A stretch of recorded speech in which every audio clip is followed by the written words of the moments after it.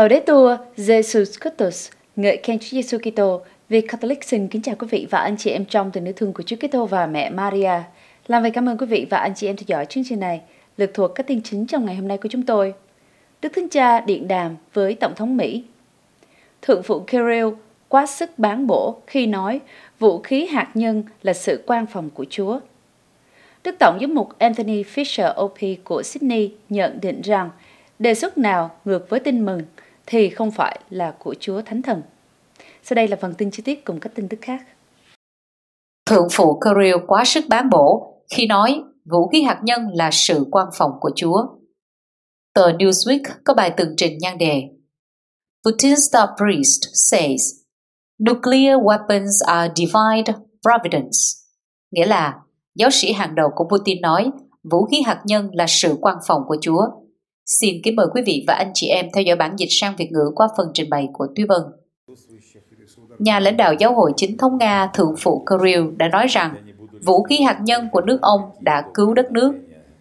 Kirill, người đã biện minh cho quyết định của Tổng thống Nga Vladimir Putin tấn công Ukraine vào tháng 2 năm 2022 vì lý do tinh thần và ý thức hệ, đã đưa ra nhận xét trên vào ngày 18 tháng 10 khi ông trao tặng vinh dự của giáo hội cho nhà vật lý Radii IKF, giám đốc khoa học danh dự của Trung tâm Hạt nhân Liên bang Nga ở thị trấn Sarov.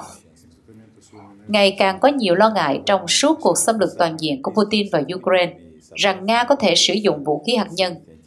Nhiều người lo ngại rằng việc Ukraine chiếm lại Crimea sẽ là ranh giới đỏ đối với Nga và Putin và có thể sử dụng năng lực hạt nhân của nước này để bảo vệ vùng lãnh thổ mà ông đã sáp nhập từ Ukraine vào năm 2014. Kirill nói, vũ khí hạt nhân của Nga được tạo ra dưới sự quan phòng thần thánh không thể diễn tả được. Ông nói, nếu không có công trình của người chế tạo bom nguyên tử Liên Xô Igor Kurchatov và các đồng nghiệp của ông, thật khó để nói liệu đất nước chúng ta có còn tồn tại hay không.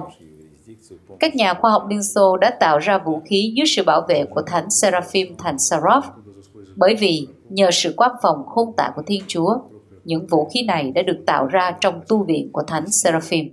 Kirill nói, nhờ sức mạnh này, nước Nga vẫn độc lập và tự do, và tất nhiên, tất cả chúng ta phải trân trọng chiến công đáng chú ý này của các nhà khoa học, những người đã thực sự cứu được đất nước trong trái tim và ký ức của chúng ta.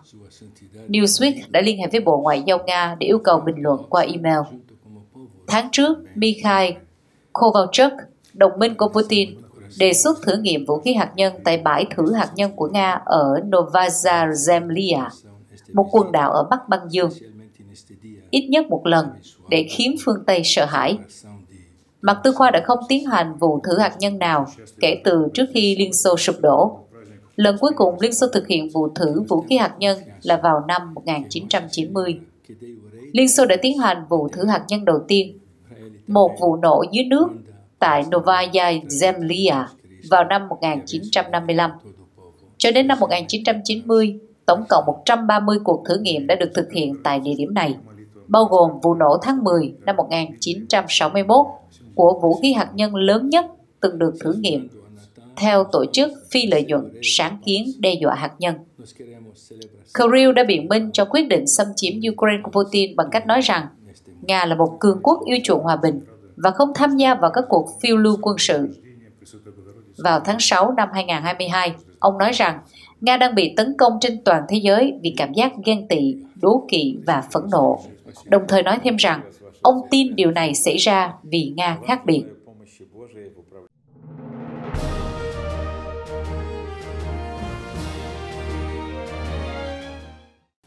Đức Thánh Cha điện đàm với Tổng thống Mỹ chiều Chủ nhật ngày 22 tháng 10 vừa qua.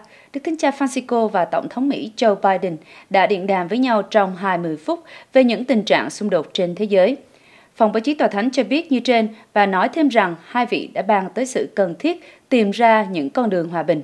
Trước đó, trong buổi đọc kinh truyền tin trưa Chủ nhật cùng ngày 22 tháng 10, Đức Thánh Cha đã nói với khoảng 30.000 tín hữu hiện diện tại quảng trường Thánh Phêrô rằng một lần nữa, tôi nghĩ đến những gì đang xảy ra tại Israel và Palestine. Tôi rất lo âu, đau khổ, cầu nguyện và gần gũi tất cả những người đang phải chịu đau khổ, cầu cho các con tin, những người bị thương, các nạn nhân và gia đình họ. tôi nghĩ đến tình trạng nhân đạo trầm trọng ở Gaza và đau lòng vì cả bệnh viện Anh giáo và giáo sứ chính thống Đông Phương cũng đã bị trúng bom trong những ngày qua. Tôi tái kêu gọi để các không gian được mở ra, các đồ cứu trợ nhân đạo được đưa tới và các công tin được trả tự do. Chiến tranh, mỗi cuộc chiến tranh trên thế giới là một thất bại. Tôi nghĩ đến Ukraine đau thương, đó là một sự tàn phá tình huynh đệ nhân loại. Anh chị em hãy ngưng lại. Sau cùng, Đức Thánh Cha nhắc nhớ, ngày thứ Sáu ngày 27 tháng 10 tới đây là ngày ăn chay và cầu nguyện, thống hối do Ngài ấn định và chiều hôm đó tại đền thờ Thánh Phêrô sẽ có một giờ cầu nguyện cho hòa bình trên thế giới.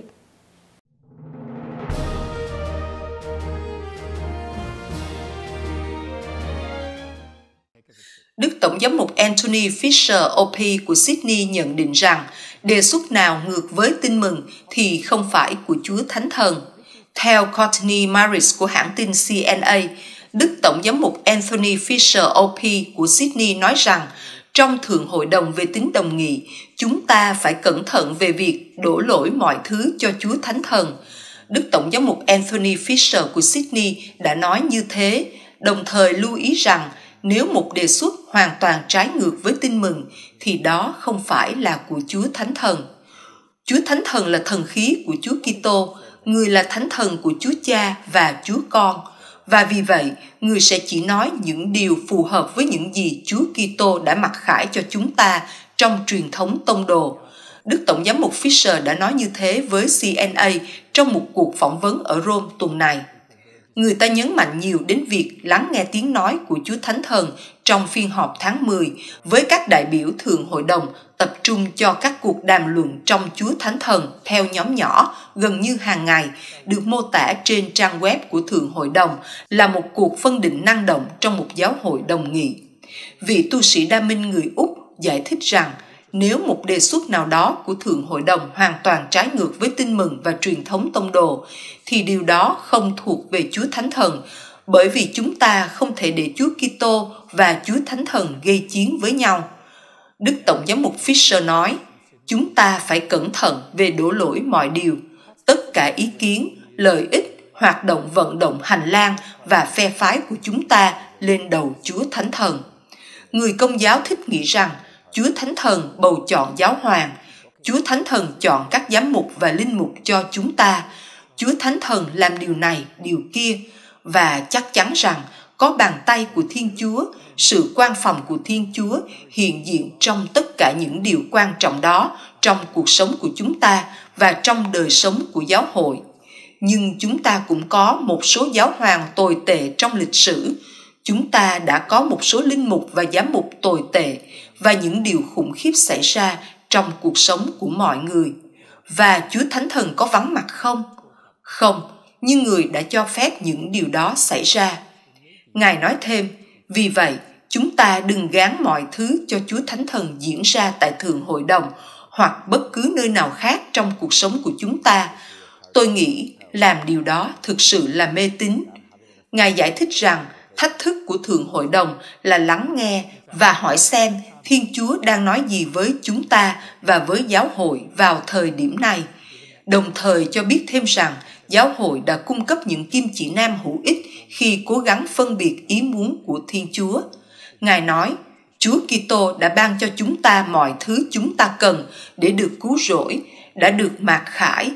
Chúng ta truyền lại điều đó từ thế hệ này sang thế hệ khác, tin mừng và các giáo huấn của giáo hội chúng ta đã có cả một bộ giáo huấn suy tư bởi hàng ngàn và hàng ngàn người qua các thế hệ được Chúa Thánh Thần hướng dẫn về đủ loại câu hỏi ở đó để giúp chúng ta, tức kho tàng đức tin như chúng ta gọi, nó ở đó sẽ được khai thác. Ngài nói thêm, vì vậy, chúng ta không chỉ có các thiết bị của riêng mình, suy nghĩ của riêng mình, bất kể tâm trạng trong cuộc họp về một vấn đề đặc thù như thế nào – chúng ta thực sự có điều gì đó vững chắc để dựa vào và kiểm tra tâm trạng cũng như trực giác. Về việc truyền chức cho phụ nữ, vị tổng giám mục 62 tuổi của Sydney lưu ý rằng đã có một cuộc thảo luận lâu dài về việc phong chức cho phụ nữ trong phiên họp thượng hội đồng. Ngài nói thêm, tôi không nghĩ điều gì đó tiết lộ bất cứ điều gì mà mọi người chưa biết và có rất nhiều căng thẳng và cảm xúc quanh một vấn đề như thế. Ngài nói rằng thật khó để biết toàn thể phiên họp cảm thấy thế nào về vấn đề này vì mọi người nghe thấy báo cáo từ mỗi bàn trong số 35 bàn trong hội trường. Nhưng bạn không biết liệu báo cáo đó có báo cáo những gì một người nói hoặc tất cả 12 người ở bàn đó đã nói. Ngài nói, vì vậy bạn không biết đó là sự nhiệt tình của một hoặc hai người ở mỗi bàn hay sự nhiệt tình thực sự được hầu hết cả phòng ủng hộ. Đức Giám mục Fisher nói với EWTN News rằng Ngài nghĩ thường Hội đồng có thể là một cơ hội để nói về những vấn đề lớn hơn trong giáo hội ngày nay, chẳng hạn như có bao nhiêu người trẻ đang nói rằng họ không có tôn giáo nào cả. Ngài nói, cuối cùng điều này cấp bách hơn nhiều, nghiêm trọng hơn nhiều so với việc mày mò ở rìa về việc liệu 0,001% phụ nữ có thể là nữ phó tế. Điều đó thật tầm thường so với sự mất niềm tin to lớn đang xảy ra cho chúng ta, đặc biệt trong ngay thế hệ này. Ngài nói thêm rằng, khi mọi người mất niềm tin, họ đi nơi khác để tìm kiếm ý nghĩa và mọi người đi đến rất nhiều nơi rất tàn khốc để tìm kiếm ý nghĩa, hy vọng và hạnh phúc. Ngài nói thêm, vì lợi ích của họ, chúng ta phải tích cực hơn nhiều trong việc truyền giáo nền văn hóa của chúng ta và đặc biệt là những người trẻ tuổi của chúng ta. Ngài nói, điều tôi mong muốn đạt được từ Thượng Hội đồng là sự nhiệt tình mang đức tin trở lại với những người lẽ ra phải có đức tin đó và vì bất cứ lý do gì đã bị mất kết nối. Đức Tổng giám mục Fisher, người đã giữ chức vụ Tổng giám mục Sydney trong gần một thập niên, lưu ý rằng Thượng Hội đồng về tính đồng nghị hoàn toàn khác so với Thượng Hội đồng giám mục trước đây mà Ngài tham dự. Ngài mô tả toàn bộ quá trình này là một cuộc thử nghiệm và nói thêm nó đặt ra rủi ro câu hỏi thần học khá nghiêm túc. Ngài giải thích Thường Hội đồng Giám mục do Đức Phaolô thứ sáu thiết lập sau công đồng Vatican II có mục đích thể hiện tính hợp đoàn giám mục của giám mục đoàn với nhau giống như sự hợp tác của các tông đồ với nhau và đặc biệt là huấn quyền của họ, sự giảng dạy của họ với nhau. Trong khi đó, Thượng Hội đồng về tính đồng nghị giống như sự kết hợp giữa Thượng Hội đồng Giám mục và các hình thức họp mặt và gặp gỡ khác của giáo hội với các giám mục, linh mục, nữ tu và giáo dân. Nó vừa là Thượng Hội đồng Giám mục, vừa là một cuộc tụ họp của giáo hội, tất cả trong một thứ. Và có những câu hỏi mà nó đặt ra, vậy bản chất giáo hội của nó là gì? Thẩm quyền của nó là gì? có phải nó cố gắng trở thành các giám mục giống như việc tập hợp các tông đồ không hay nó đang cố gắng trở thành sự suy tụ của tất cả những người đã được rửa tội tôi nghĩ có lẽ chúng ta cần phải suy nghĩ nhiều hơn về việc tất cả những điều đó có ý nghĩa gì về mặt giáo hội, giáo luật thực tế đức tổng giám mục fisher nói rằng, cũng có cuộc thảo luận về tỷ lệ giáo dân, đặc biệt là phụ nữ, trong thường hội đồng về tính đồng nghị Ngài lưu ý, có nhiều phụ nữ hơn bao giờ hết trước đây và vẫn phải đương đầu với rất nhiều lời chỉ trích rằng vẫn không có đủ phụ nữ. Đức Tổng giám mục Úc nói thêm rằng một trong những mặt tích cực của Thượng Hội đồng về tính đồng nghị là nhiều người công giáo từ khắp nơi trên thế giới đã tụ tập cùng nhau tại Vatican trong tháng này. Ngài nói, trong hai tuần qua, tôi đã gặp nhiều giám mục hơn hẳn so với 20 năm trước của tôi – và đó phải là một điều tích cực